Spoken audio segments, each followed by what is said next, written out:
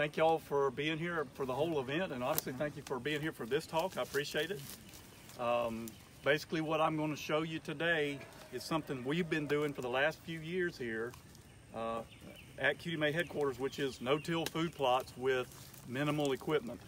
Um, I started not too long ago starting to hear different voices in the agriculture community uh, working hard to train farmers and break them the, of the habit, the old tradition of disking everything all the time and again and again and every year and over and over. And training them to begin to go toward no-till uh, for the very simple reason that soil is built from the top down. Nature builds dirt and soil and nutrients and plant health from the surface down. And when you disc, you are upending that process. You are turning everything upside down. And you are breaking down the process of soil nutrient buildup and microbe buildup and the organic nature of soil that allows plants to thrive. And so these voices in the, in the agricultural community started trying to encourage farmers to use various techniques, and we'll talk about some. Um, but the bottom line, what we've learned with food plots messing around with this is from big ag operations with big equipment all the way down to a person with five acres of land and no equipment, we can all do no-till organic food plots. And the reason you would want to, there's a lot of them, and I'll get into some of those today. But you can save money on your fertilizer bill. You save money on your fuel bill because you're not disking as much. Um, in many cases, people who didn't think they could do food plots because they couldn't disc or didn't have the equipment can do food plots using this approach. Um, and there's and then there's uh, environmental benefits. You're reducing soil erosion, which again benefits you and your food plots. Uh, you're avoiding pesticides, herbicides, and other things running off into streams and dirt running off into streams. You're basically going with the way nature intended to build soil, and it saves you in the long run in a lot of ways and has a lot of benefits for wildlife, uh, the woods, the waters, and everything else that we appreciate. So that's kind of the overview of what we're going to talk about. And this plot right here behind us um, has not been disked in about three years. I think for three, this, uh, when I plant this in a week or two, this will have been the uh, fourth round of food plots on this plot that has not been disked. Um, and then we've got some others that we're beginning to do the same way. So what I want to show you basically is this part that you're standing on right now is ready to plant. All I have to do is broadcast seed on top of this when the rain is coming and I'm off to the races. So a lot of people would look at that and go, no, that's not ready. We got to disc that. We got to have nice, fluffy, clean seed bed. I don't want to see sticks. I don't want to see rocks. I don't want to see weeds. Uh, I just want to see dirt. And that's the old farming tradition. Um, and it's so ingrained in our culture that that's just what everybody, I mean, I feel it. You know, I want to see that. That's what you think you need to do to plant. Um, so it takes breaking of some old habits. But what I want to um, just show you, this is very easy. It is not difficult to do. And again, the reason that you want to do it is soil is built from the top down. I'm probably going to say that several times. But you'll see all of this stuff. This is the residue of last year's crop. I just mowed this a couple of weeks ago. Uh, this is last year's warm season food plot that we planted. These tall stalks are grain sorghum. It has a seed head on it. Uh, there's some sunflower stalks still left out in here there's a little bit of volunteer sun hemp that came up that was actually from the previous year, this taller stem right here. And then vines of cowpeas and soybeans um, and lablab all out in here It, and it makes all this great organic material and you want that. You want that on the top because the way soil is built, this type of stuff, dead plant material falls to the top, leaves. It's big, it's chunky, but it begins to break down over time into smaller and smaller pieces and that filters down into the layers the water percolates that down into the layers and you get finer and finer part, uh, particles down through the top layer of the soil and the soil begins to build a structure that has pores in it and those hold together and ultimately over time what you get is you get a whole biotic community. You get earthworms in there. You get smaller things, microbes and bacteria and all kinds of things in there that live in that structured layer and those pores and all of that feeds into soil health. Those microbes help break things down. They produce the nutrients, the nitrogen, the phosphorus, the potassium, and all the other micronutrients that we want in there and produce them naturally, reducing your fertilizer bill. But again, top down, when you disc and turn everything over, you're not only burying that stuff too deep to where it can't break down, uh, you are potentially bringing weed seeds back to the top, and but also you are uh, bringing up and, and fluffing up this soil. You get with the fine soil on top, and then with, with a nice clean field just sitting there, what often happens? Dries out. It dries out, and what do you see when the wind happens, when the wind blows? Dust. Dust. That's your topsoil going away in the wind, blowing off to somewhere else. When it rains, you see furrows and erosion. Um, there's a guy on YouTube who's now retired from USDA NRCS. His name is Ray Archuleta. How many of you have you ever uh, watched Ray give a presentation? Yeah. Ray is one of these well-known evangelists of organic agriculture, and the agriculture community has spent his whole career trying to teach farmers this stuff, and has converted a bunch of people. He's now retired, but you can go onto YouTube and just search Ray Archuleta soil and find a bunch of his videos, educational. And one of the things you'll see him do is a demonstration.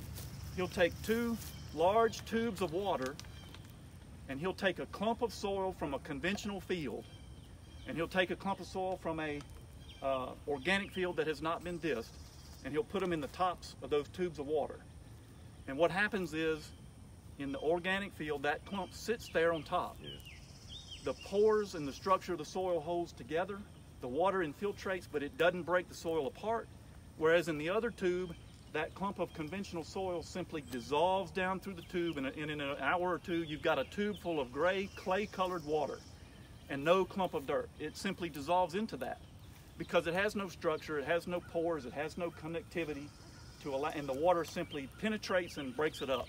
And what that means is when it rains on a field like that, it all just rolls off.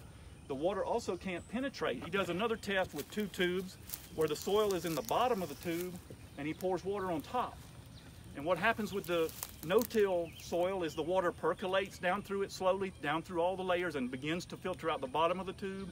And in the conventional soil, the water just sits on top and can't penetrate and does not go through. And what that means is in your field, water sits on top. It, if you've got a slope, it's rolling off into a stream. It's carrying herbicides, pesticides, and your dirt, and your fertilizer, and the nutrients down into the stream and away from your property and off into the world. We don't want that. Uh, not just from an environmental concern, but from the fact that we want the dirt and the nutrients and the stuff to stay here in the field with our plot. So those are some good demos. Check those out on YouTube if you get a chance. It's very, you know, convincing to see how this works. Um, you know, you want to see when you dig down, you want to find earthworms. You want to be able, in, in a good, healthy food plot dirt, it's a good place to dig bait. Earthworms are a good sign that you've got that community beginning to build. And I've already dig, I've dug out here a little bit. I'm starting to find it doesn't happen fast. It does not happen overnight. When you think about it, if you've got a field that's been this for years, you know, you have to build that community there of, of organic soil, and it may take a little while, depending on how long the history there is of the tillage. Now, if you want to do this, if you've got a tractor and you've got maybe a grain drill or you've got a Firminator, you can still do this.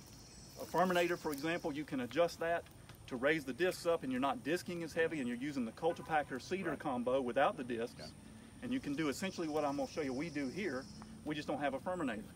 So no matter your level from a bunch of equipment to no equipment, you can do this. Um, and the process is pretty simple. You leave this field. This is a warm season plot we grew last year. And I'll just point out to you these T-posts around and that roll of plastic fence over there. We couldn't grow this plot here without that because the density of deer is here pretty high. And as most of y'all know, you can't grow cowpeas and soybeans uh, in small plots or in areas with high deer density because they wipe it out, right? Um, so we have to put that plastic fence up. We put it up right after we plant. And then what we do is, once the crop is mature and, and established and ready to withstand browse pressure, we'll roll the bottom of the fence up and begin to let the deer in here. If we see that they're kind of waxing it and wiping it out, which they will, we'll roll the fence back down and, and lock them out again and let the plot kind of recover until bow season comes in in September. Then we, again, strategically open up the fence for hunting opportunity. People have shot deer out of that redneck blind right there with bows and crossbows in this plot in September and October. They've also shot them in ladder stands down the hill here, catching deer coming on an approach up the hill to this. So, you know, the fence itself is a great hunting strategy. Uh, but the other thing is it allows us to grow crops like this. Now here what we did with this, in some cases, you know, you might want to have a warm season summer plot and then turn that to a cool season plot in September, October for hunting through the fall. We didn't do that here. We basically let the deer feed in here until frost killed the beans and peas and all the legumes and things, which is usually November, maybe Yeah. December, just dependent depending on. So you get a good bit of hunting season out of a plot like this, then you leave it alone, and you just let it stay here. And that's what we did, as you can see. You don't worry about the weeds coming up that you'll see through winter. All of this, as you study organic agriculture, what you find is cover crops is a big word that they really push people to think about, and that means don't when farmers harvest their crops, they're trying to teach them don't go out there the day after and disc it all under and let it sit out there as bare dirt all winter. Not only is it washing away, blowing away in the wind, but also you're destroying the, the community that I was talking about earlier, bacteria and organisms and things. It's dead out there. The water ponds on top. It's not penetrating. You're not retaining any of that winter rain in the soil profile. So they're trying to teach them to do cover crops. Keep the soil covered with either crop residue or something green that you plant because the growing thing in winter, whatever the cover crop is, even if it's not something you harvest or not something deer are eating, is holding the soil in place, is feeding the microbes and maintaining that community that's building that soil that we want to have. So it's basically holding everything together until you're ready to grow a crop again. So looking out here and seeing green weeds and organic uh, uh, cover residue is good. This is what you want to see through winter. There's no problem with that, even if deer aren't eating that. This is part of building that organic soil profile. So what we'll do with this now, and I've already kind of done a demo here, is when you're ready to plant, which it's it's almost time now, or is time now, and with soil temperatures here in Georgia to go ahead and we could plant a warm season crop now, or we could wait a little bit. Um, I came in here, I mowed this, and the next thing you're going to do, the next step, as you can see, I did it about a week ago. This stuff's already dying. Is I sprayed this with glyphosate, uh, two ounces to the gallon, um, and I did it with a backpack sprayer. So, okay, let's say, well, I don't have a tractor or a bush hog. Have you got a push mower at home? Have you got a riding mower at home that you could trailer and come out here and raise the deck up and cut this? Yes, you could. I could run this over with a riding mower. In a small enough plot, if you've got small acreage, and let's say you've got a little hidey hole plot out somewhere off a fire break you can't get to, you can do this with hand tools. Get a couple of buddies and some sling blades if the stuff is heavy enough cover and get out here and just knock it down. The point of that is, again, to get this stuff down on top of the surface, protecting the soil from rain and erosion and everything else, and beginning to break down. But also the other part is, if I came out in here and this heavier stuff with my backpack sprayer, Yeah, you're not gonna do. all of this structure and the taller green stuff is going to prevent me from really getting an effective kill on everything here. So you mow it, cut it down to the ground, you give it a few days to kind of begin to return to, to grow back the plants and grasses and things that are there to grow back from the mowing, but yet still be relatively low. And then you come in, you get a good effective kill. Whether you do that with a four-wheeler tank sprayer, a backpack sprayer, a garden pump sprayer, whatever, you know, whatever you've got, you can do it with any of that.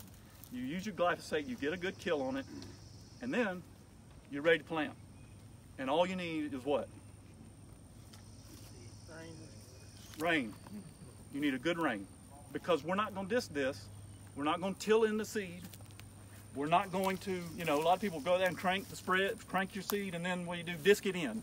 We're not going to disc it in. But seeds like this are pretty big seeds.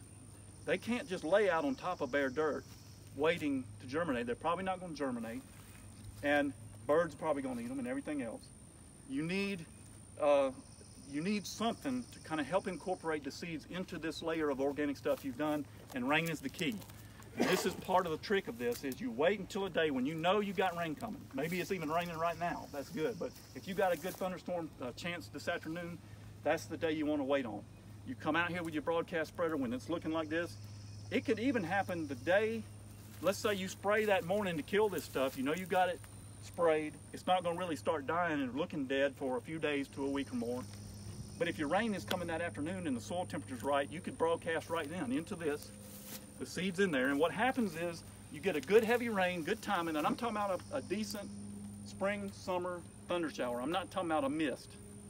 You need a good soaking because what that ultimately I found is it ends up doing is kind of, you need something to sort of settle those bigger seeds, cowpeas, soybeans, things like that, down into this layer of mulch. you know, if I sprinkle salt on your carpet, you're going to have a hard time finding it. And smaller seeds like chicory and brassicas and clover that are tiny, they're not going to be as big of a problem with seed con soil contact broadcasting on something like this. They're going to filter down in there. They'll be fine even if it doesn't rain that afternoon. But when you're planting bigger seeds like cowpeas and soybeans and lablab and things like that, you want to make sure they get settled in and the rain helps do that. Not only that, the moisture wets the seeds and you get good germination. And every year we have done this, I've timed it with a good thunder shower, broadcast, and I've got pictures. Within seven days, what you'll see is all this will be dead, it'll be dead and brown, but a lot of beautiful little cowpea and soybean seedlings coming up through it. It's amazing how well it works. No tillage. Yeah, fixated. You, you, you think we, No, uh, yes, sometimes we do, and that's what I was yeah. going to show you. If you look at this piece of equipment over here, um, this is a combo disc and cultipacker. It has a cultipacker on the back that you can lower with a cable, and if I feel like we need to, I'll drop the cultipacker on that and run over this after I broadcast the seed basically what I'm trying to do is essentially just stir the top and just get those seeds to settle down in there. I'm not trying to disc or break up the dirt. Simply, and really packing is not really the goal here, is simply running over this and stirring it around a little bit and, and kind of settling everything down. And then you get your rain and you're off to the races. Try to get that seed to soil contact. That's right. You want to get that stuff to settle down in the bottom of this bigger mulch layer. The mulch layer helps protect the seeds from drying out from sun, from birds that will eat it, um, from washing away in the rain and everything else. They'll hold that in place. And the, the germination and the distribution you get out there across this stuff is just perfect. It works great. You'll see that this thing has a set of discs on it, but the discs, with that hand crank, you can float the tires up, raise the discs up. Occasionally, I might lightly touch this with the discs if I really feel like, I don't know, if that's just not quite enough in spots if I'm seeing bare dirt or something like that, but I don't want to use the disc if I can help it. In fact, the discs on that thing are rusted because we haven't used them in a while. Um, and so that's basically it. You mow or somehow lower this down so that you can then spray. And then when you got a good rain coming, you broadcast your seed.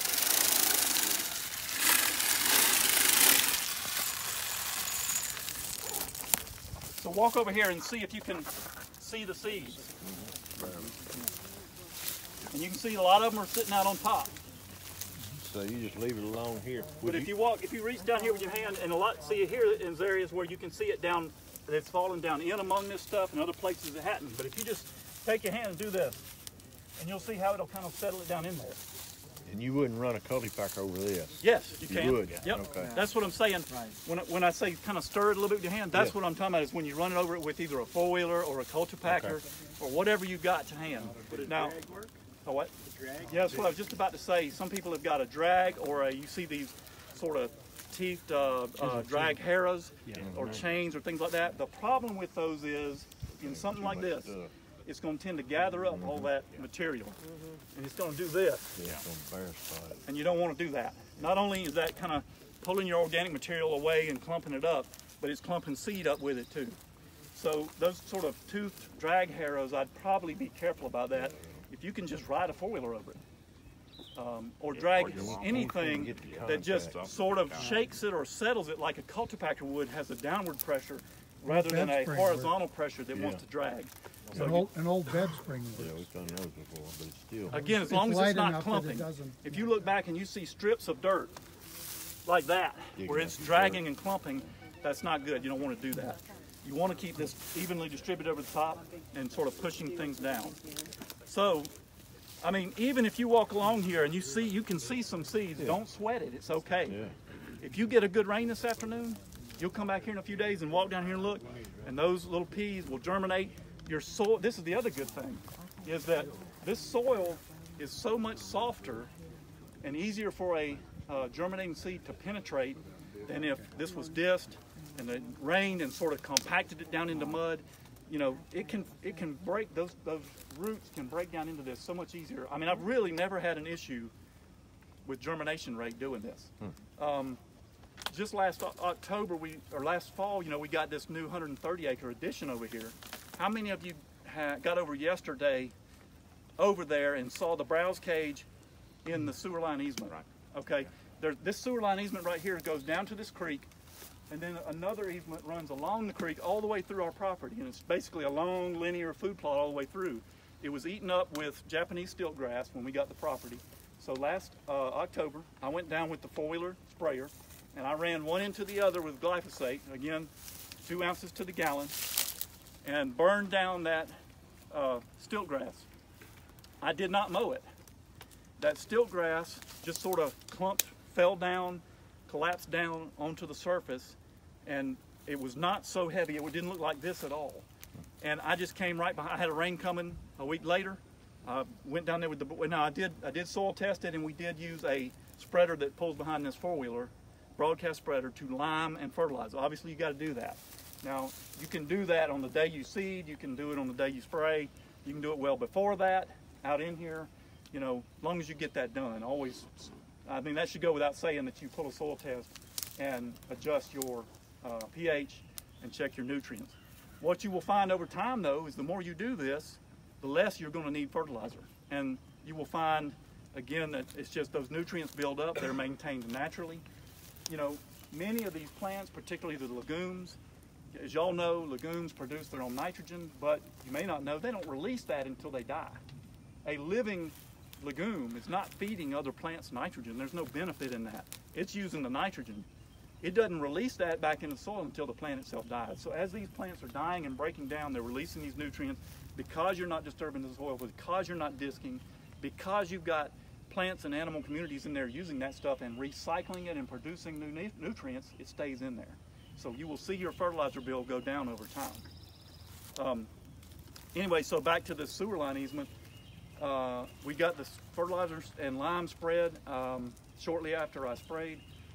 Took that spreader right there, uh, did a blend of oats, wheat, rye, Austrian winter peas, and crimson clover, one end to the other. And those of you that saw the cage down there, you know, it's this tall right now in oats, wheat, rye, and Austrian winter peas, and outside the plot it's, it's, it's mowed off. So they've been feeding on that right off. Never dissed it, did not even mow it.